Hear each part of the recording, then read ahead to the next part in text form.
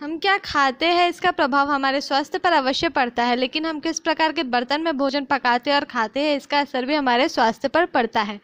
किस धातु में हम खाना खा रहे हैं, उसका हमारी सेहत पर खास असर पड़ता है। तो चलिए, आज मैं आपको एक एक कर बताती हूँ कि सोना, चांदी, स्टील, पीतल, एल्यूमिनियम, तांबा, लोहा किस प्रकार के बर्तन में खाना खाने और बनाने से हमारे सेहत और स्वभाव पर क्या असर पड़ता है? तो वीडियो को पूरा ज़रूर देखिएगा। सबसे पहले बात करते हैं सोने के बर्तन के बारे में। सोना एक गर्म धातु होता है। इसमें भोजन बनाने और करने से शरीर के अंदर और बाहर दोनों हिस्से कठोर, बलवान, ताकतवर और मज़बूत बनते हैं। यह हमारे आँखों के लिए भी लाभदायक होता है और हमारे आँखों की रोशनी को बढ़ाता है। चांदी सोने के विपरीत चांदी एक ठंडी धातु है। इसमें भोजन करने से शरीर को आंतरिक ठंडक पहुँचती है। इसमें भोजन बनाने और खाने से दिमाग तेज होता है। यह भी हमारे आँखों के लिए फ़ायदेमंद है। इसके अलावा पित्त दोष कफ और वायु दोष को नियंत्रित करता है चांदी के बर्तन में भोजन करने से। फिर है तांबा। तांबे के बर्तन में रखा पानी पीने से व्यक्ति रोग मुक्त होता है। यह रक्त को शुद्ध करता है। स्मरण शक्ति अच्छी होती है, लीवर संबंधी समस्या दूर होती है और साथ ही शरीर के विषैले तत्वों को खत्म कर देता है और मोटापा कम करने में भी सहायक सिद्ध होता है। सिर्फ़ पानी ही नहीं खाना खाना भी इसमें फ़ायदेमंद होता है। यह बर्तन भोजन के पौष्टिक तत्व को बनाए रखता है, लेकिन तांबे के बर्तन में भूल कर भी दूध कभी भी नहीं पीना चाहिए, इससे शरीर को नुकसान पहुँचता है। पीतल पीतल के बर्तन में भोजन पकाने और करने से कृमि रोग, कफ और वायु दोष की बीमारी नहीं होती और साथ ही पीतल के बर्तन में खाना बनाने से सात प्रतिशत पोषण तत्व नष्ट हो जाते हैं।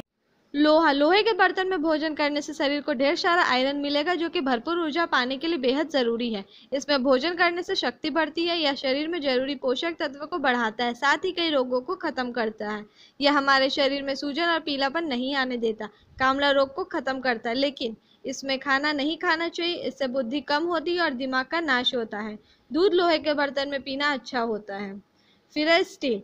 यह एक ऐसा धातु है जो लगभग सभी घरों में बर्तन के रूप में पाया जाता है। आजकल मार्केट में बर्तन के नाम पर सबसे अधिक स्टील ही पाया जाता है। कुछ लोग का मानना है कि इसमें भोजन करना नुकसानदायक होता है, लेकिन यह सच नहीं है।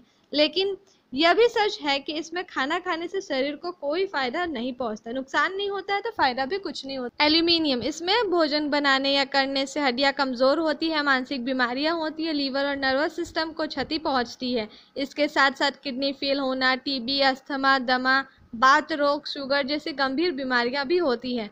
एल्युमिनियम का प्रेशर कुकर में खाना बनाने से 87 प्रतिशत पोषक तत्व खत्म हो जाते हैं। तो साफ़ है, इस बर्तन का प्रयोग कभी भी खाना बनाने या खाने के लिए बिल्कुल भी नहीं करना चाहिए।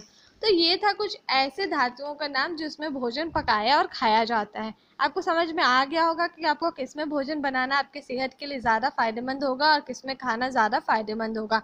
वीडियो कैसा लगा कमेंट करके बताएँ, वीडियो को लाइक करना ना भूलें, वीडियो को ज़्यादा से ज़्यादा शेयर कीजिएगा। ये जानकारी हर लोगों तक पहुँचाना बहुत ही ज़्यादा ज़रूरी है। तो वीडियो को ज़्यादा से ज़्यादा शेयर कीजिएगा। तो मिलते हैं अगले वीडियो में, तब तक के लिए बने रहे इस चैनल के साथ। धन्यवाद।